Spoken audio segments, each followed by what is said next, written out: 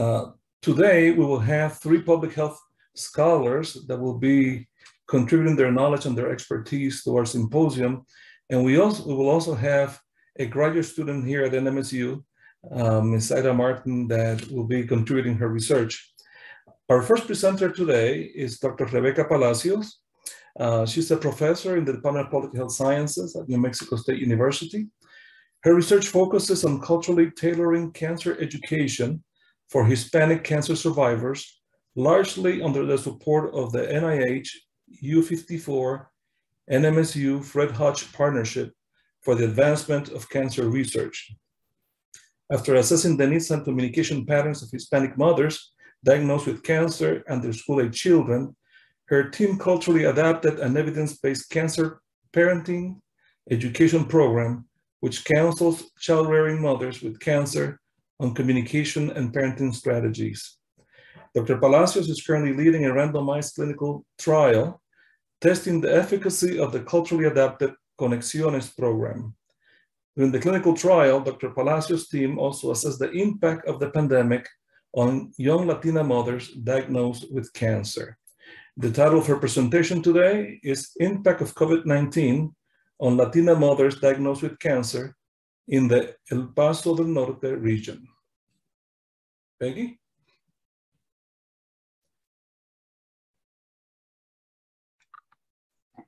Thank you, Dr. Diaz. Uh, I'm going to share my presentation. Okay, so so thank you for that introduction. Um, so as Dr. Diaz says, I'm going to be presenting on the impact of COVID-19 on Latina mothers diagnosed with cancer, specifically in the norte, the, uh, the Paso Norte border region.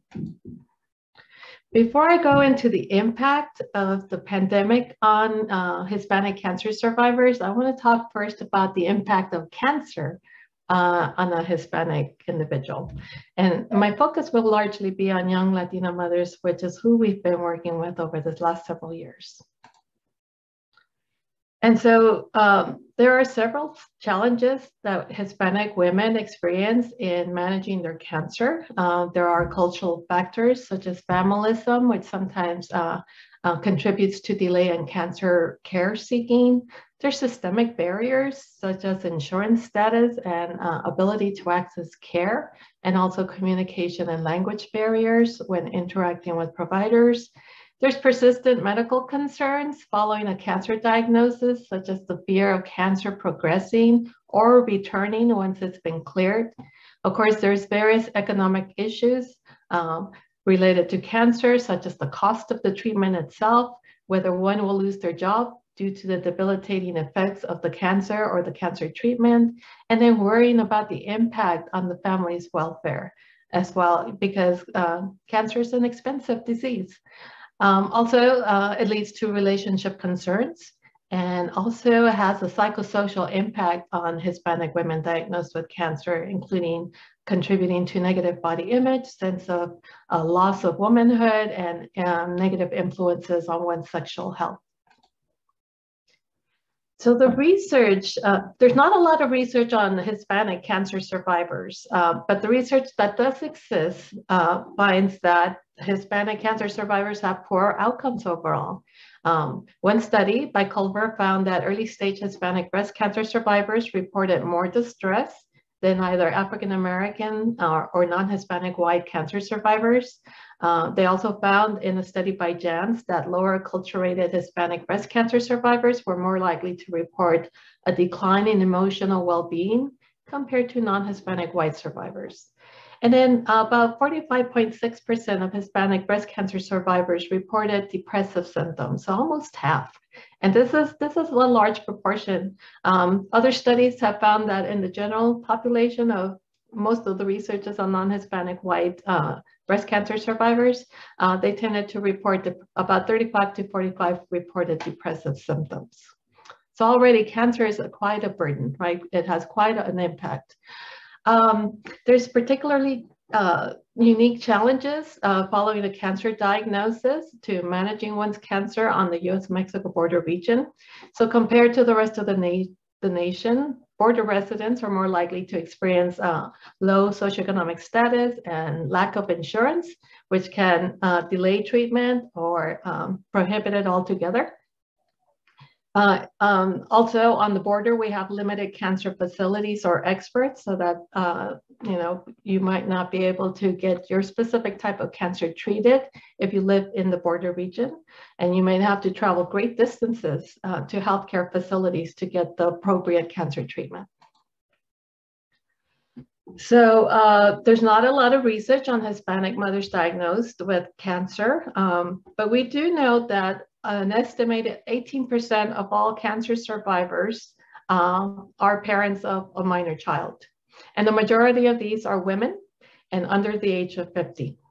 So what we have learned, we've learned from non-Hispanic white uh, mothers diagnosed with cancer, and what they report is uh, substantial illness intrusive, uh, cancer affecting their ability to care for their children, their ability to work and add to the household income.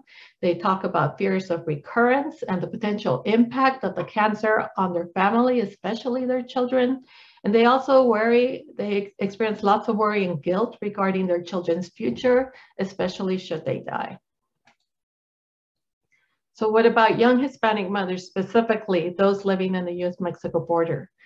Well, we did do some qualitative research and what we learned was that uh, following a cancer diagnosis, these mothers felt it was the most difficult time of their life.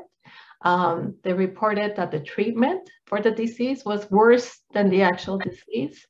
Um, here you see some quotes. My world has already been taken by cancer because it was like, okay, you can't do this, you can't do that, you can't, you just can't. And then they also reported feeling alone, especially when they started to feel a little bit better. They felt like their family and friends tended to think they were okay and they would drop them. They also reported having to figure out how to live day by day and were especially challenged uh, by the mm-hmm. impact of cancer on their home life and their children specifically. They struggled how to talk to cancer about cancer with their children. And they also talked about needing lots of resources, including help to take care of their children when they needed to go out for a cancer treatment or procedure. So I just wanted to give you that little background just on the burden of cancer on the Hispanic cancer survivor. So now I'm going to talk a little bit, not so much about the details of the clinical trial, but at the, the women we were working with during this clinical trial. So we were testing the efficacy of Conexiones, which is a culturally adapted cancer parenting education program for young Hispanic mothers diagnosed with cancer. And so the people that, the, the women that participated in our study were diagnosed Latina mothers. Uh, they ranged in age between 26 to 57 years, and their mean, uh, their mean age was 41 years. Uh, about 34% had less than a high school or a high school diploma only. Um, some had a college, some college, others had uh, were college graduates, about 44%. About half worked part-time or full-time. Um, about 47% had a household income less than 35,000. And for a family of four, that's living in poverty. Um, marital status, about half were married, half were not. Uh, regarding language, about a third preferred to speak Spanish. And then regarding the number of children in the household, the majority had one to two children in the household. Regarding disease characteristics, um, the moms, uh, the majority had breast cancer, but others had gynecological cancers and thyroid cancer. So these are the types of cancers that aren't easily treated here on the US-Mexico border. There are not as many specialists. So typically these patients have to travel out of town to get treatment and these others as well. The mothers varied in the stage of cancer that they're diagnosed. Hispanics tend to be diagnosed in later stages, as you can see here. Um, about 77% were in stage two and three. And so here's the timeline of our, our clinical trial. So we started our clinical trial midway in 2019, and then we were impacted by the COVID pandemic in 2020, in early 2020. And the, the clinical trial continued through 2021, and we actually extended it a little bit. So we're still uh, trying to complete the clinical trial. Um, so regarding our baseline measures, uh, so the original clinical trial was measuring anxiety and depression using these two instruments. Those were primary outcomes in our study. And of course, we were worried that the pandemic was going to affect these outcomes. And so we added uh, an additional measure uh, called the COVID-19 impact of the pandemic and quality of life in cancer patients and survivors by Pineda et al. And it measured these things, including uh, COVID-specific anxiety and depression. And so what did we find? So regarding COVID-related anxiety, the moms reported uh, high anxiety regarding the, the pandemic impacting their cancer care and recovery, impacting their family or possibly somebody in their family dying from COVID. They also talked about their own increased risk for um, contracting COVID because of their cancer, if they were already uh, susceptible to it, had a greater susceptibility to it. And then other parts of their lives were also affected by it. Regarding COVID-specific depression, so because of COVID, the mom, about a third of the moms reported feeling negative and anxious about the future and just feeling overall sad and depressed. Regarding the impact of COVID on their healthcare, uh, about a third of the moms reported disruption in their general medical care, and another 27% reported disruptions in their cancer-specific care, which is very distressing. Uh, regarding the ability, their satisfaction with the provider to protect them from COVID, uh, taking those necessary measures to address COVID-19, or providing adequate information on how to prevent COVID-19 or protect themselves, uh, a lot of them said they were pretty satisfied. Um, regarding financial hardships related to COVID, so about a third of the pop, of our sample reported, you know, lots of anxiety around finances, uh, especially ability to maintain their health care, to take care of others financially, uh, losing their job because of COVID, and then also just general financial difficulties. About 20% uh, reported being unable to purchase basic necessities such as food. Regarding COVID-19 disruptions to daily activities, um, the majority uh, really talked about disruptions to social interactions with family and friends, and also to their daily routines. But also look at this up here, difficulty taking care of their children's needs and balancing their needs, the needs of their children with their other responsibilities. So that became quite a juggling act for everybody.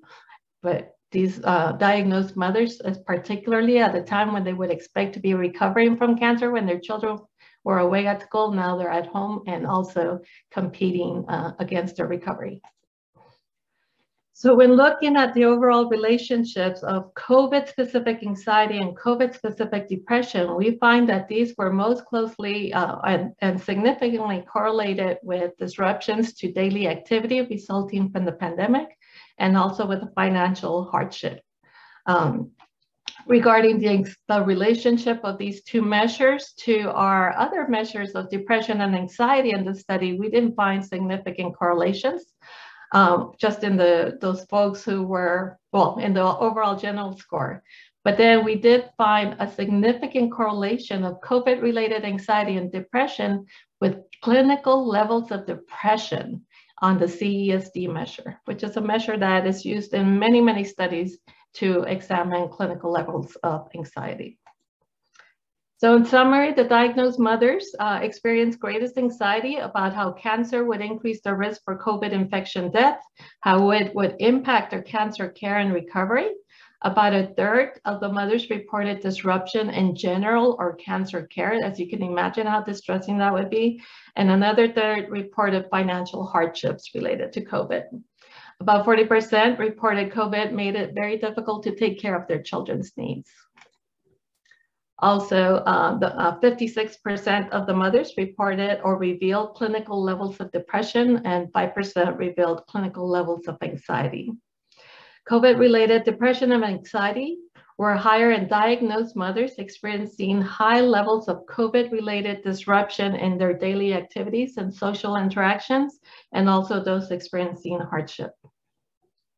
Finally, COVID-19 uh, related depression and anxiety were significantly correlated with clinical depression. So in conclusion, COVID-19 had a detrimental effect on the mental health of Latina mothers diagnosed with cancer, uh, an underserved clinical population. It also had a detrimental effect on clinical trials, uh, testing interventions, promoting psychosocial well-being of cancer survivors. So our recommendations are cancer survivors should be referred to mental health services, especially following catastrophic events like pandemics, and also clinical trials to try to control for the pandemic impact. Thank you.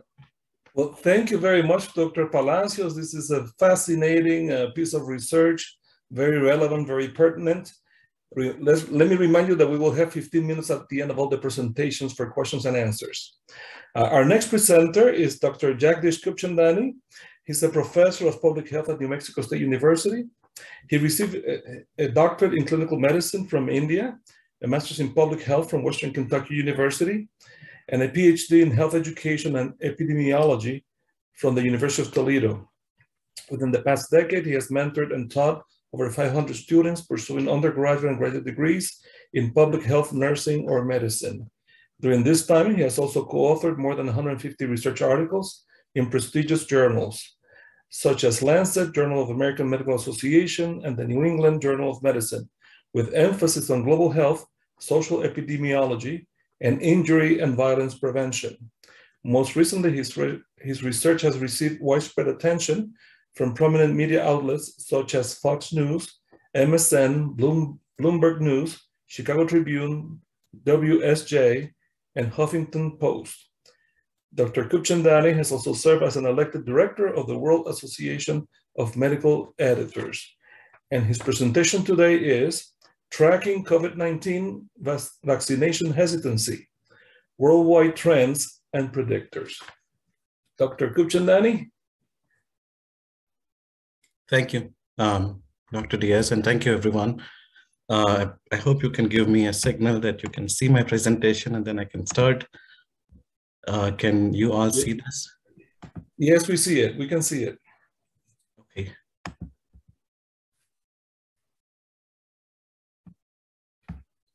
So thank you again, uh, Dr. Diaz and uh, all the organizers of the conference. Um, my talk today looks at COVID vaccine hesitancy.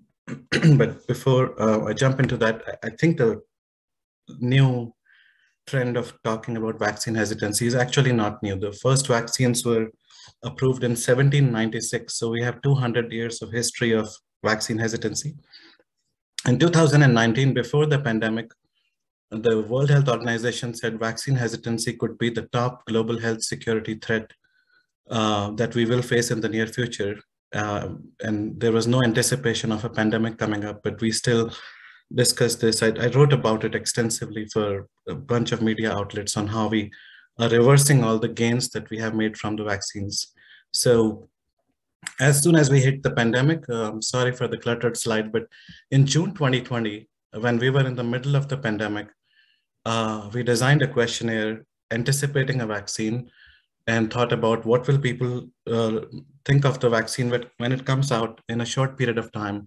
So in June 2020, we sent out a questionnaire to a national random sample of 1,878 people. Uh, and the study was widely covered in the media, possibly the first of its kind in the United States. And essentially in this study, we use Amazon MTurk, social media, uh, Facebook community networks, emails, uh, and we finally were able to achieve a response rate of 1878 in individuals from 50 states. Um, note that this is a pre-vaccine study, and we needed 1,300 people to make a good judgment of what will be the acceptance rate of a vaccine when it comes out.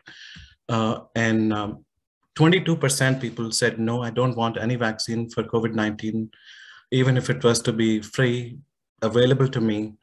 Um, I hope you can hold on to this number 22%. This was June 2020, before the vaccine came out. 78% people said, yes, i am willing to take the vaccine or I'm likely to take the vaccine. Then we dived into what was it that was causing people not to accept a vaccine if it was available. Overall, 22% people said, no, I don't want the vaccine uh, before the vaccines came out. Among those 34%, among African Americans and 29% Hispanics said, I don't want the vaccine compared to other groups of individuals. So before the vaccines were rolled out, racial minorities of some groups were hesitant to take the vaccine. Then we asked people about their age, and based on age, those who were 40 to 60 years old were the most hesitant to take the vaccine even before they came out.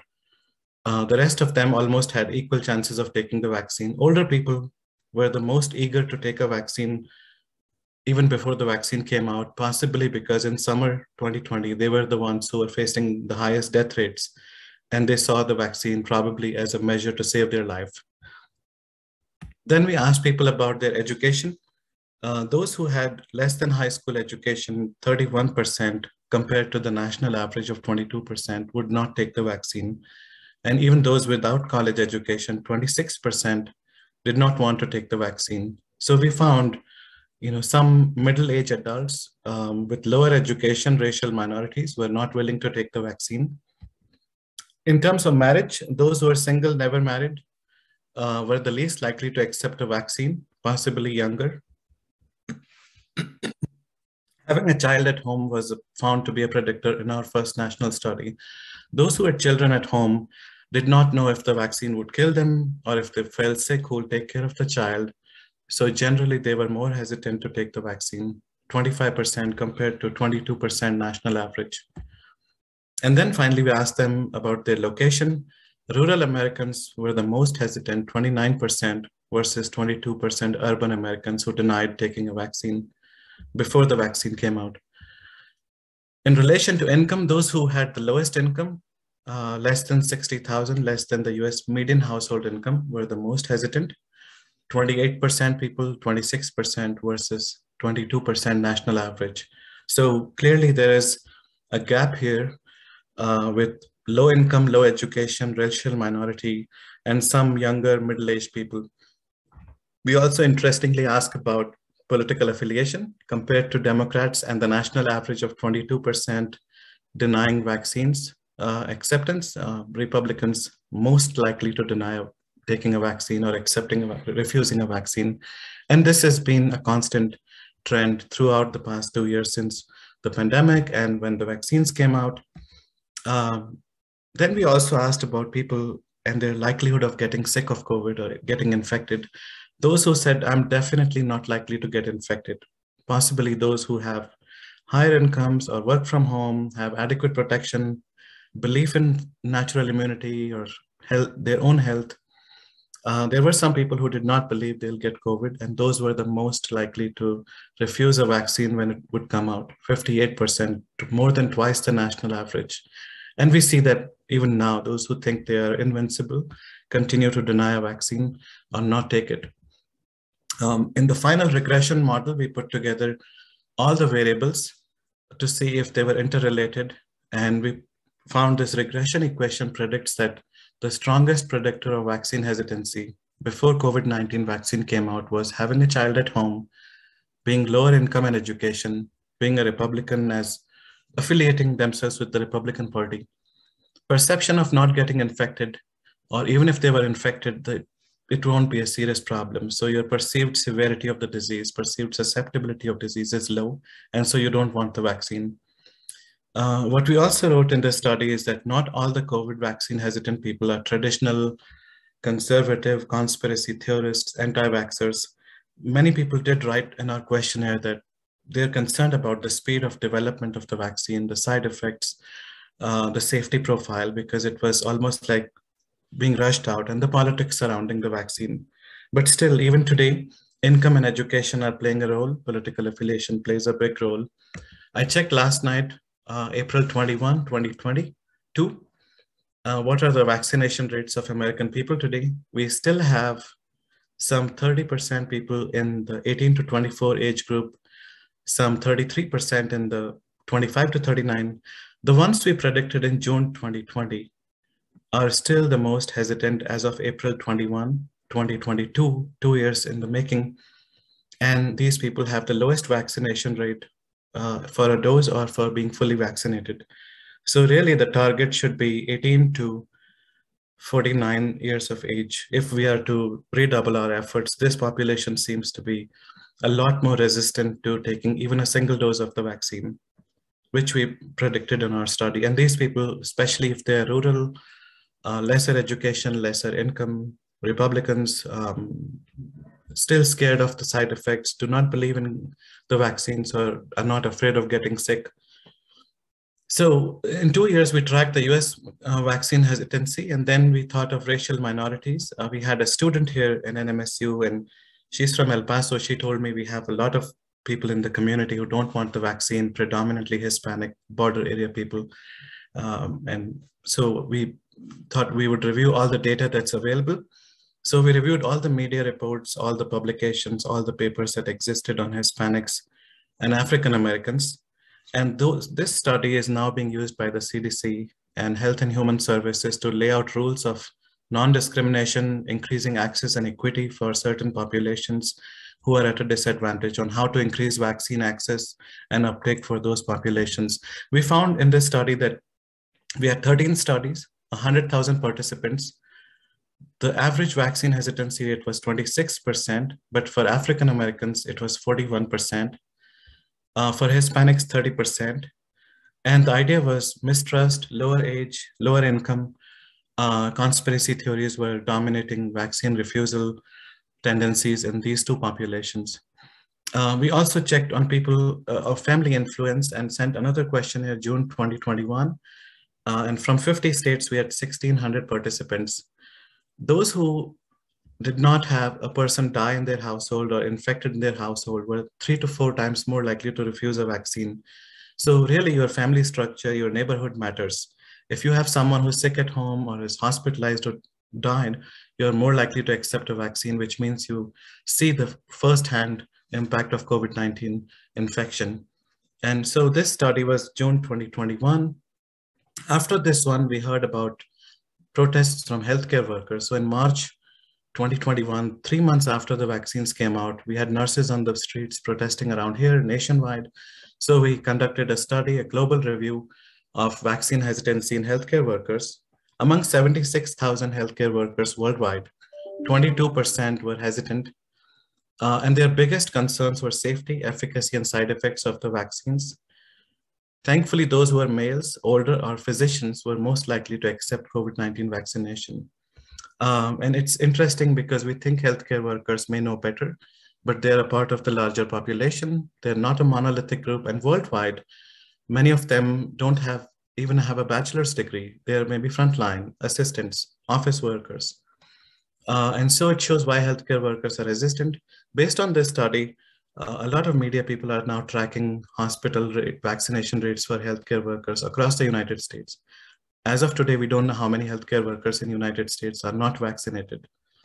Um, so, you know, in conclusion, I also want to thank some of the students who helped me lead these studies. They were in the media, and they took on this global task of reviewing all the data, material, media, and we have been able to publish on nurses hesitancy, medical students, dentists, and it's almost like 15 to 25% dentists, nurses, medical students are still not taking the vaccine, uh, which tells you about the social influence, the media influence, family influence. You are a healthcare worker, you spend eight hours in the office, but back home, you're still surrounded by the same belief systems that your family has, the society has. So being a healthcare worker may not have much of an impact on health behavior, especially if you know, our communication has been weak on how to advocate for vaccines. Um, I do have some global studies going on. We did one in India, one with college students worldwide, and they have almost the same problems. We don't know what the vaccines look like, what are the side effects. We need more info. The government should be transparent. Uh, what happens if I'm sick? Um, and so, you know, in conclusion, I want to uh, write about, uh, discuss the discussion that we put out in all these studies, multiple ones, that we believe in the C strategies. When you can are trying to go out and educate people or make a policy, think of the context. Who are you dealing with? Remove the constraints of people getting trying to get a vaccine, mobile clinics, transportation, access to vaccines. Increase people's confidence in vaccination by giving them factual information, the benefits, improve the calculations in favor of vaccines, reduce complacency. Uh, many of us are now eligible for the booster, but it's like, oh, I'll get it next time tomorrow. And that should be reduced. Communication is key, and we have failed multiple times at regional and national and global level. Uh, we have failed to provoke a sense of collective responsibility. And finally, in some of our studies, we show you don't always have to talk about vaccination, but also infection and what it can do to people. So the, these recommendations are given in all of our studies to promote vaccination.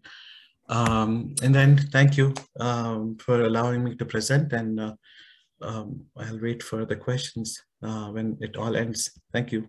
Yes, thank you very much. This is also a fascinating presentation. And again, you'll have a chance to ask questions after our four uh, presenters have presented. Uh, our next presenter is Dr. Ietza Bojorquez.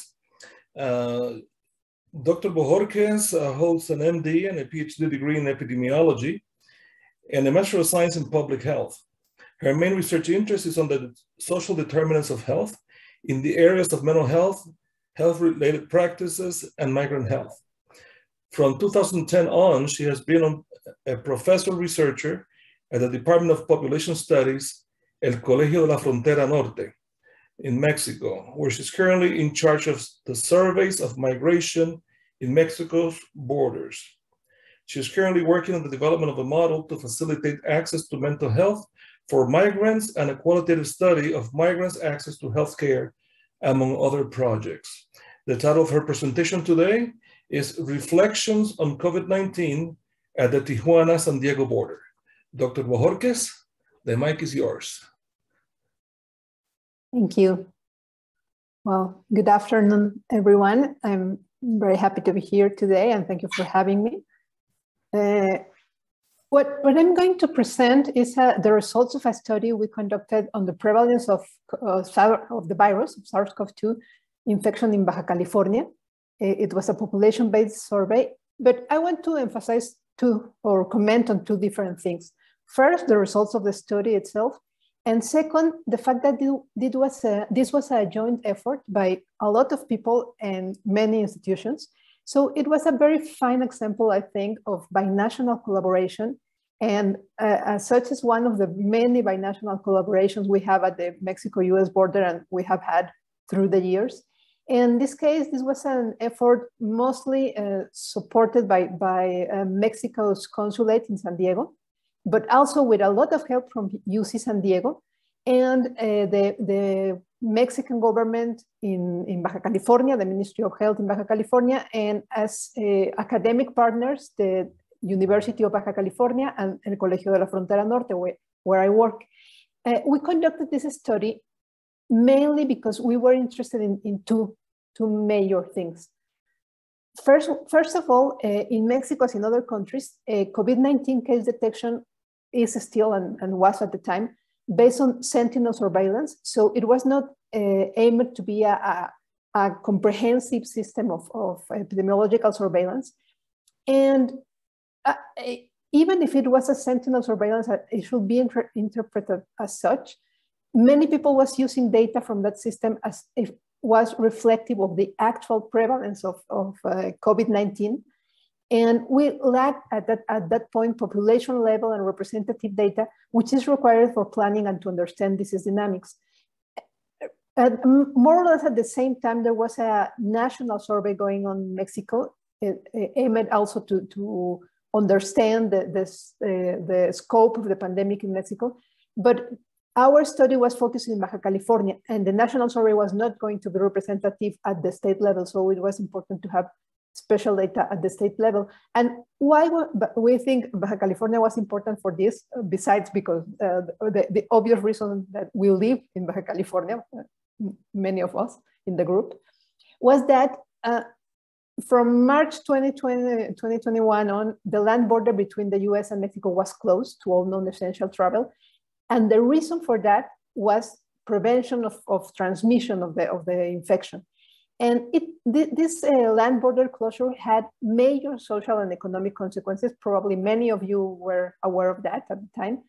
And there was little evidence, very little evidence, and still there is, on the utility or if this was effective for avoiding disease transmission. So when we were thinking about doing the survey, we were in part trying to address this issue and trying to provide some sense of what was going on with the epidemic in, in each side of the border. Uh, we ended up doing this only on the Mexican side. But the, the, the idea was, well, is there really such a high risk of transmission between Baja California and California, for example? Or, or what's the, what's the, what's the rationale for, for this border closure? No? So that was an, an important issue to address. Okay. So the, the main objective of the survey was to estimate the prevalence of current and previous SARS-CoV-2 infection in Baja California. And it was, a, as I said, a household survey, a probability household, household survey. We stratified it by city. It was done only in three cities in Baja California, but the three cities concentrate uh, most of the population of, of the state. And we uh, selected a cluster, uh, which were formed by AGEB, which is like the, uh, similar to census tracts in the US. From each one of those AGEB, we selected blocks, and from the blocks, we selected households, all of them with probability proportional to size. Uh, and from the households, we selected uh, individuals, one individual per household, who was five years old or older. So this was a survey of both uh, minors and adults. Uh, we applied a questionnaire with sociodemographics and especially with transborder mobility questions. So we wanted to learn if, the, especially if there was a higher risk of, of uh, infection among those who were crossing the border frequently we took blood samples for anti-SARS-CoV-2 antibodies for measuring them, and also nasal swabs for RT-PCR test for the for current infection. The field work was done in a really short time. It was a very intensive uh, field field uh, field work in February 2021. So it was almost at the end of the second wave of COVID in, in Mexico at, at the time, but still it was going on. So it was uh, very difficult for a lot of reasons that you can imagine. And we have the, the help of uh, 155 students from Baja California University who did uh, an amazing job of, of, going to each house and trying to convince people that this was an important effort and they should let us pick, prick their fingers and take nasal swabs, which are not very nice to, to experience. And we had the supervision of Baja California's Ministry of Health, which was also very important because the RT-PCRs were, were taken to the state lab, which was, is, is, a, is a validated lab for, for the, the measure of the conduction of RT-PCRs for COVID and other things. So we had an unweighted N of over a thousand participants in the, in the survey. And once uh, we weight the, the estimators, this is the, the distribution, distribution by gender, age, and education. And this only shows that the, the sample was very similar, or after expansion, it was very similar to the actual proportion of, of these, uh, these characteristics in the, in the Baja California population. So it was more or less half male, half female. Most people were between 18 and 59 years old. And uh, there, was, there were also a fifth, about a fifth of minors. And the educational level was also similar to the general population in Baja California, which is high by Mexican standards, but it's uh, about the, the median uh, years of studies somewhere in high school. And uh, there was also a, a, quarter of the population ha that had some college or more. So these are the main results in terms of, of the prevalence of, of SARS-CoV-2 infection. So for, for RT-PCR, we had a general prevalence of 7.8%. Um, but as you can see, there, were, there was a big difference between the three cities, which shows that the dynamics of the uh, epidemic at that point was different in each city. Uh, Tijuana and Mexicali had already gone down from their peak in December, January that year. And Ensenada was still in the middle of a, of a very high rate of infection. So 22% was is, is very high. Um, but in general, for the for the three cities, the, the, the group of the three cities, it was 7.8%. And that, that's for the like the current infection. But about past infection, which is measured by the IgG positives, the antibody positives, we found a general prevalence of 21% or 21.1%, slightly different by city, but uh, very similar. So let's say about 20%. And uh, there are not many studies that have done this type of, of um, sample design for, for COVID-19, most studies have been conducted in, in very specific populations, for example, healthcare workers or older people residences or things like that, spaces or places that like that, or small areas. So I think it's important to compare this with other similar studies which aim to be representative at, at the population level of a, a larger population in that sense. So the, the national survey in Mexico, the, uh, which I was telling you about, which was called the Ensanut COVID, um, was conducted from August to November 2020. So it was a, a few months before. And the national seroprevalence they, they found was 20, almost 25%. So it was about a quarter of the population. Um, sorry, I was looking at the chat. Uh, at the same time, for example, or more or less at the same time, in New York City, a, a, a, household survey also found a prevalence of about a quarter of the population, and it was similar in some uh, major uh, cities in Brazil in May to June 2020. So it seems like for, for the big urban areas all around the world, or almost all, all around the world, at that point in time, we were about that, that uh, about a fifth to one quarter of the population had been infected. Now it's much higher, of course. So the first conclusion was we had a similar situation as in other, in other places no, around the world. Um, we found that 5.3% had crossed the border in the past six months. The, the border was closed, of course. And only 10% of that 5.3% had uh, anti-SARS-CoV-2 antibodies. So it was a really small proportion of those who had crossed, who had uh, who were positive. This doesn't say anything about where they had catch the virus, but it says that they were not. Uh, I mean, th there was not a big population uh, moving the, the, the epidemic across the border around. And this uh, also about the, the preventive measures they had taken in the past six months. Well, most of them had frequently used the mask in public all, almost three quarters had washed their hands frequently, but only slightly over half had frequently avoided leaving home. So in Mexico, there were uh, only a few people who were able to stay at home, even in, in, in, the, in the, the highest peaks of the, of the pandemic.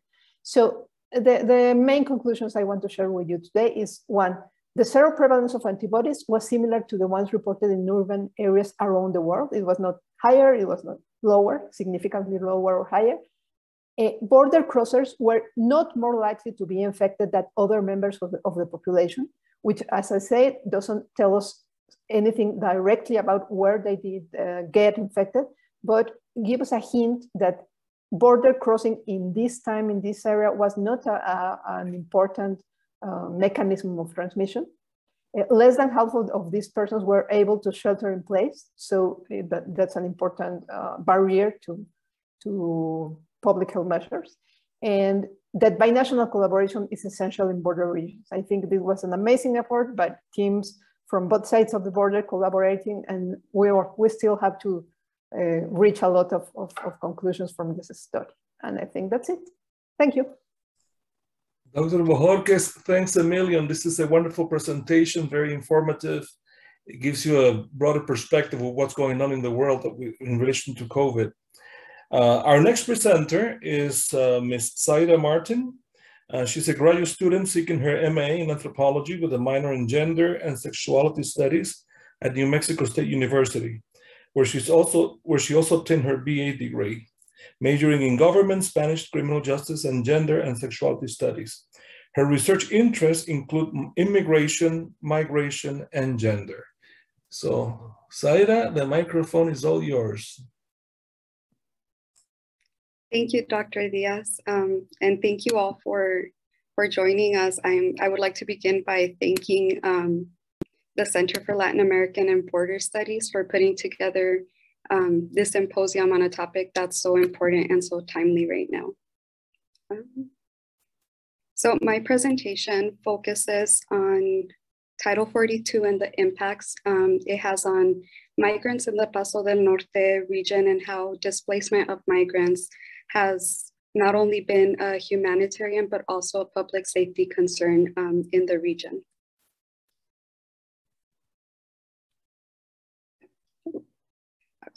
I would like to begin by explaining a little bit about Title 42, um, which we heard of a little bit in the migration plan, in the migration panel.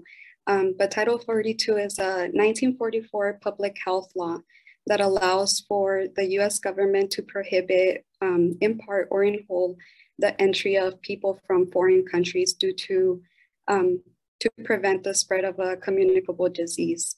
In March of 2020, um, in the early days of COVID-19, the Trump administration called for the director of disease of the Center for Disease Control um, and Prevention to invoke Title 42, um, temporarily restricting the entry of people from, from foreign countries.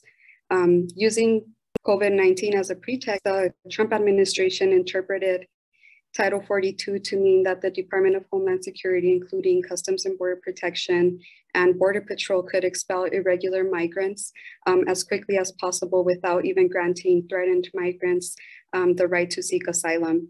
Um, this order directly defied national and international legal protections for asylum seekers at the US border as it suspended um, all rights for asylum seekers to, to present their claims um, to the US government and just put them out for immediate expulsion. Um, it is worth noting that at the time that this code was reenacted, COVID 19 rates were higher in the United States than in any other country in the Americas.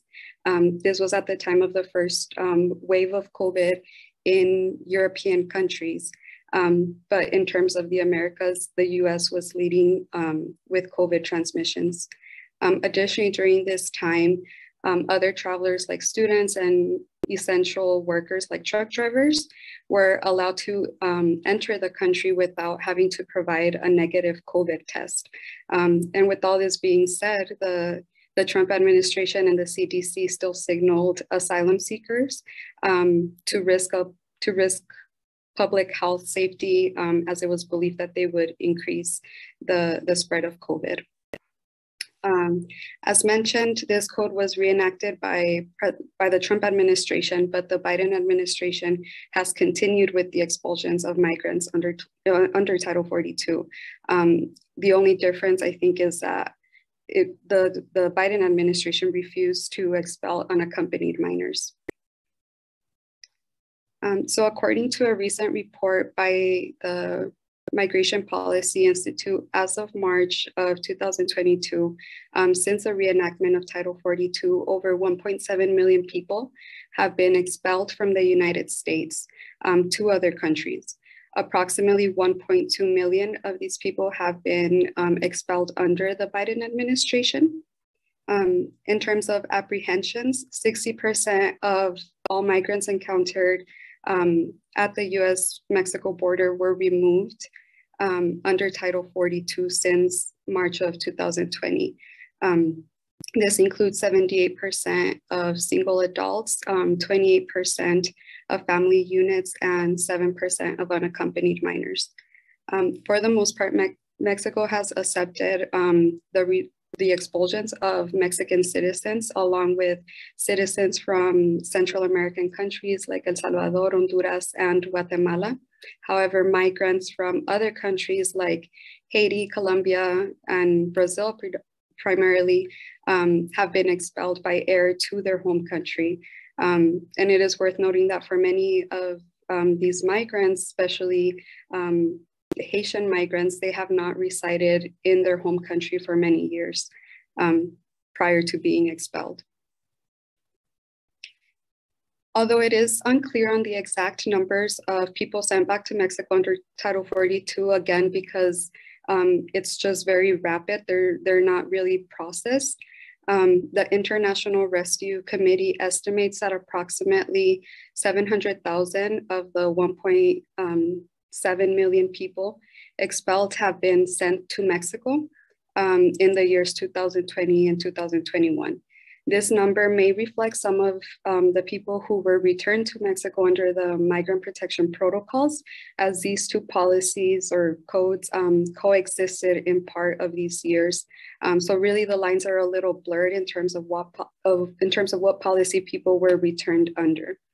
Um, it is estimated that around 60,000 people are currently waiting in northern Mexican cities um, for Title 42 to be rolled back.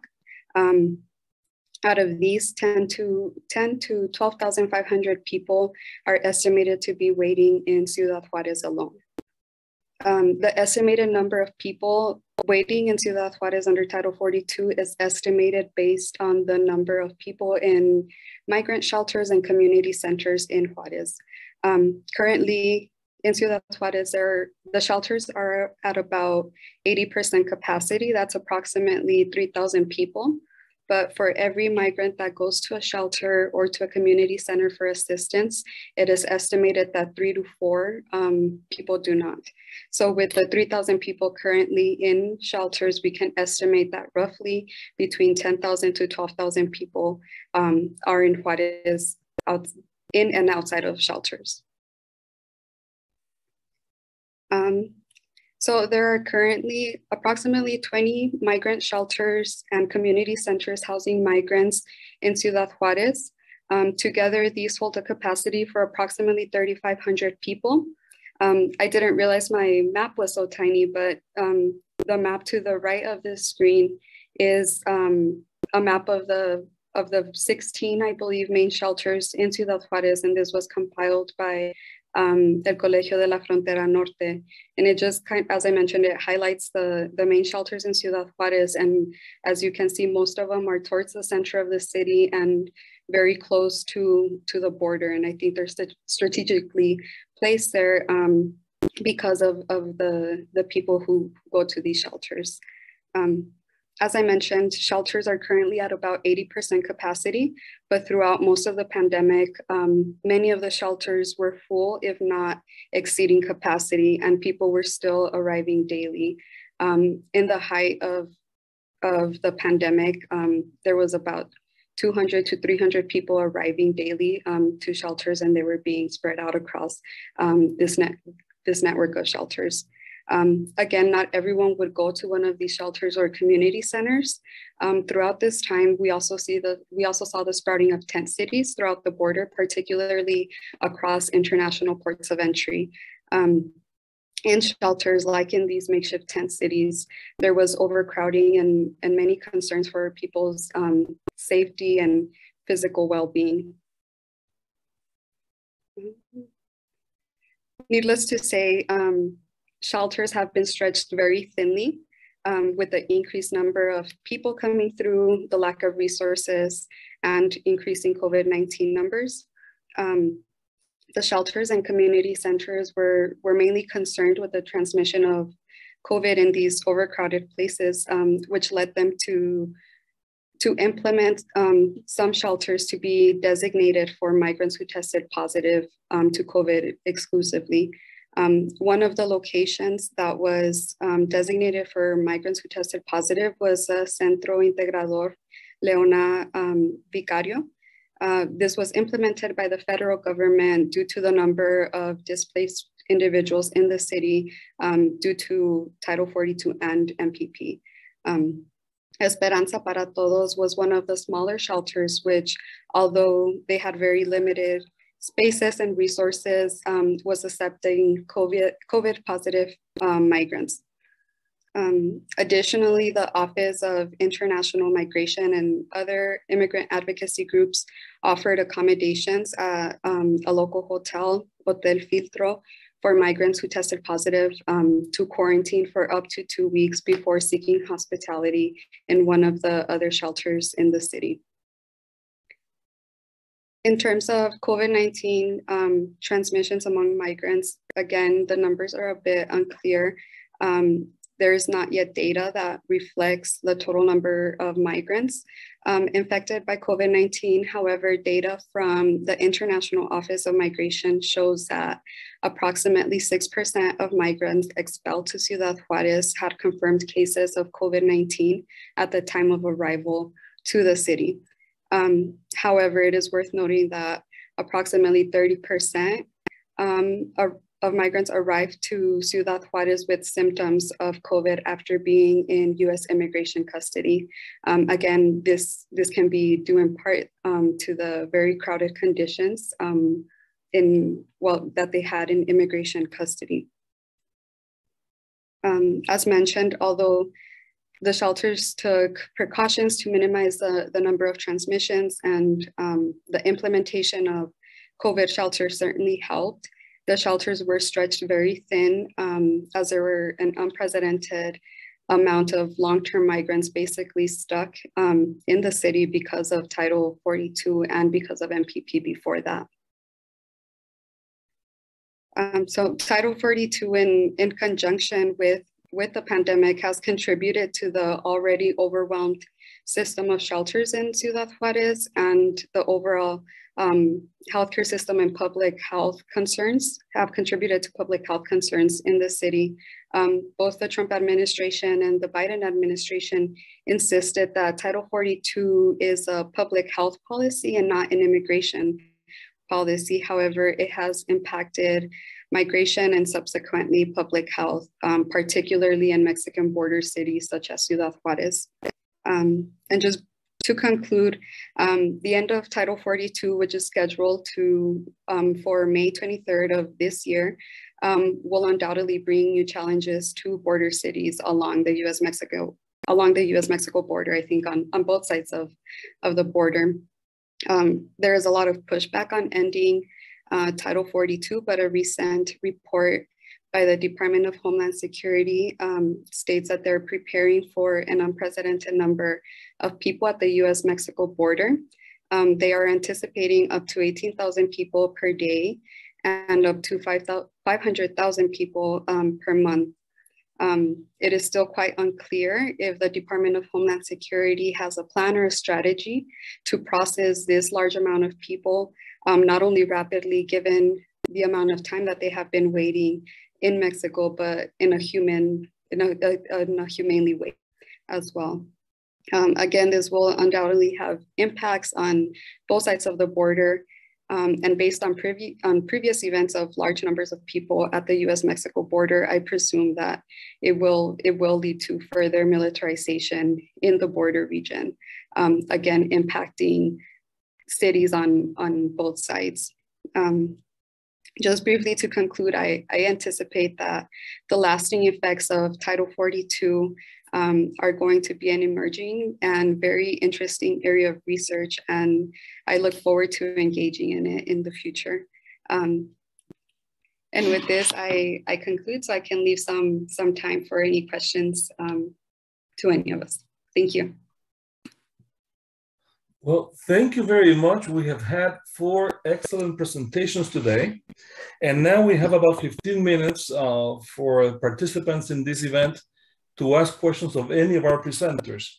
So if you have any questions, please uh, raise your hand, go to the icons on, on, the bottom of your screen and raise your hand and we'll give you a chance to speak. Uh, do we have a question from anybody to any for any of our presenters?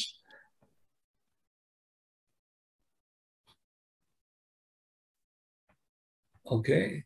Ietza, uh, Dr. Bojorquez, you have a question?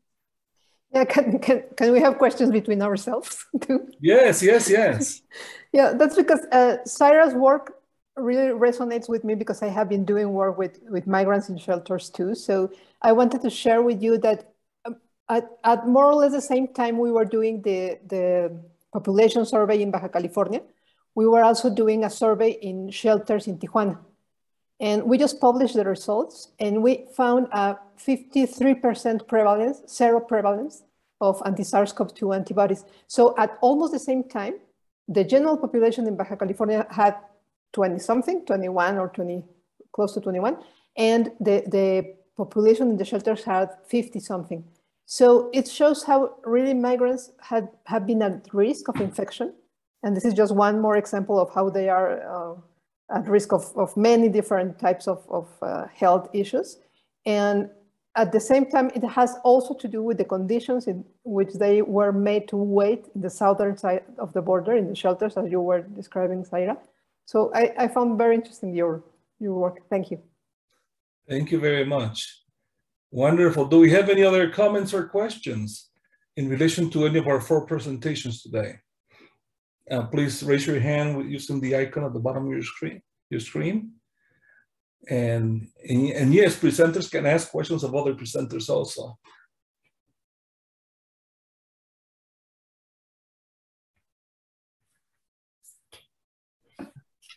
I guess I can ask a question. Yes, yes, please. Also, Zaira, um, what do you think about Governor Abbott's recent strategies to take migrants who are coming into the U.S.? And taking them to Washington, D.C.? And what's going to happen with this influx? I imagine a lot of it's going to be in El Paso. And so I'm just curious, like, what your thoughts are on that. Absolutely. Um, thank you for your question.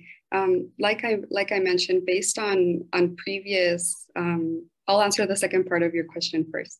Um, based on on previous times that we've seen um, large numbers of people at our border, um, I am anticipating or I presume that we will be in a situation similar to the one that we were in 2019, in which CBP and Border Patrol were just, um, you know, like releasing people um, onto like Greyhound stations and gas stations. And I think it will really be up to the community um, that, that includes um, religious organizations and nonprofits around the community to, to coordinate travel, to, to coordinate arrangements um, for people to make it to their destination.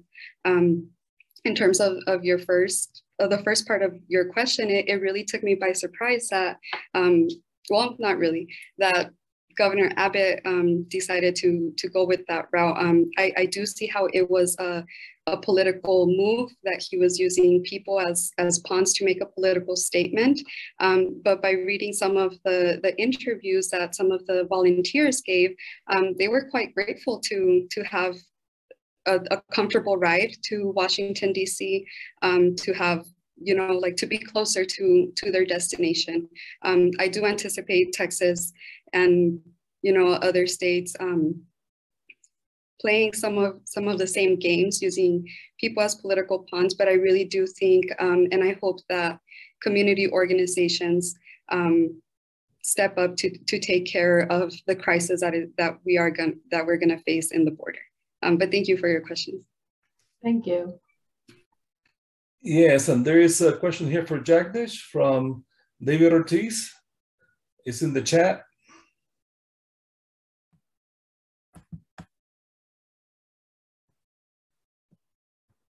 And, and I can ask it directly uh, for, for Dr. Khubchandani.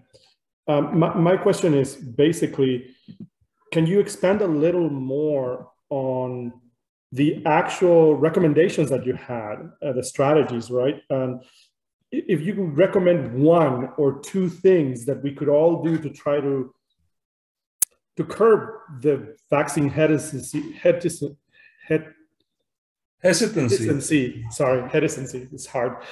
Uh, that that we're experiencing, and it's growing, right? So that that is what's what's really scary. So the growth of this vaccine hesitancy. How do we curb it? How do we help? So you had several strategies. I would I wish maybe you could tell us what's the main one or what's the easiest one for a lot of us to try to to help with this. Yeah, thank you. So, you know, I had uh, a bunch of C's here. Maybe I can pull them up again. Um, I think at the heart of it, uh, if we have to look at the foundation of where it comes from, is this one communication.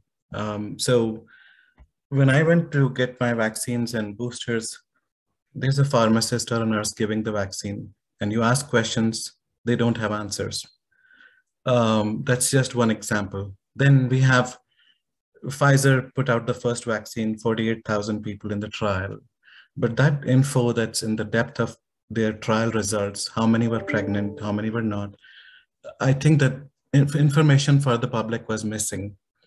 Uh, many of the women in our studies had concerns about fertility. All the studies that show that getting vaccinated actually reduces your risk of dying of COVID and does not cause more stillbirths or abortions. You know, those kinds of information pieces have to be communicated um, better and healthcare providers have a major role in advocating for the vaccines or communicating better. Um, then there's issues with, you know, again, within communication, increasing people's confidence. Uh, for lay people who are not from the health background, you know, you have to um, show them all the benefits, persistent communication, build their confidence, be able to address their concerns, And that's what, what not we do. I think we end up labeling people as a lefter, righter, conspiracy theorist, anti-vaxxer. And, and, that's just been, uh, you know, one of the issues. So globally, I think uh, communication across various sectors, regionally, nationally, has to improve. And that would increase the uptake of vaccines. Uh, and all the strategies that we have discussed, communication remains the key. Um, so that would be one of my favorite picks is communication. I have a question for Dr. Bojorquez. Uh, I wonder if there are any studies that have been done on vaccination hesitancy in Mexico. Do you anticipate, uh, do you think that the factors there would be similar to the factors in the US or would it be different in Mexico? I think some of them will be, for example, education level.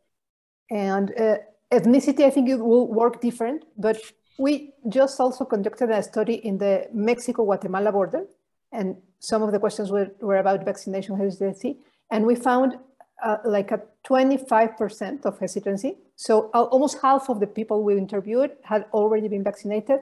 A quarter was willing to be vaccinated in the future, and another quarter was unwilling to be vaccinated. And the main reasons they, uh, the, the main variables associated with it were uh, education on the one hand, and on the other religion.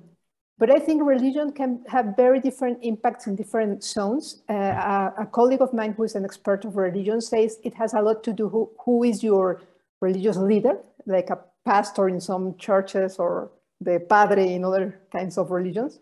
So I think it's very I don't know, location specific, some variables, but education for sure is one of those. And the other one was uh, who, who, which was their most trusted source of information for, for about vaccines. So lack of trust in the government, of course, was related to uh, unwillingness to vaccinate. Mm -hmm. Wonderful. Thank you very much for sharing that information. Do we have any, any more questions for our presenters today? Uh, let me see, questions and answers. Somebody has a question here.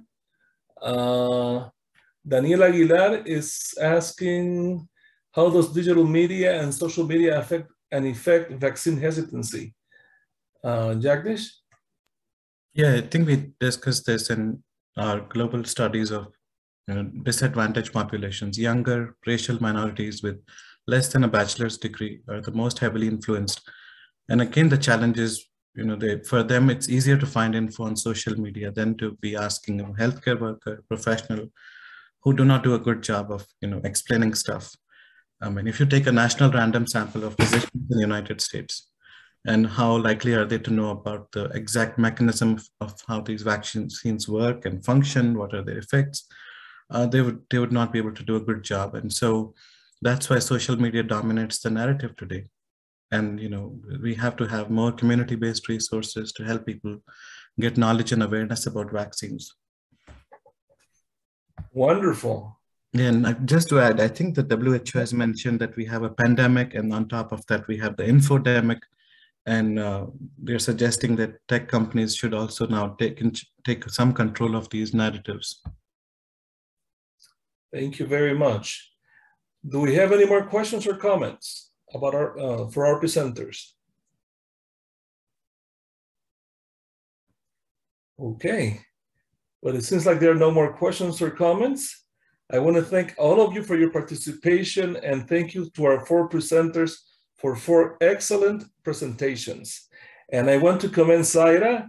I see a lot of uh, research potential there. I think that Dr. Palacios, Dr. Khubchandani may want to hire Zaira for something.